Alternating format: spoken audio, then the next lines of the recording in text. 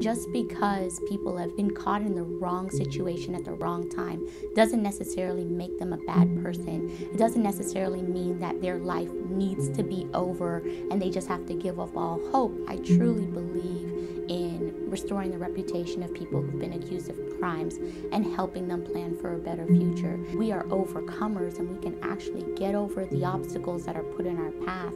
And I believe that creating those trusting type of relationships, empathizing with the clients, and allowing to feel a genuine and sincere connection is what allows them to trust our firm with those pressing, serious matters that they're dealing with.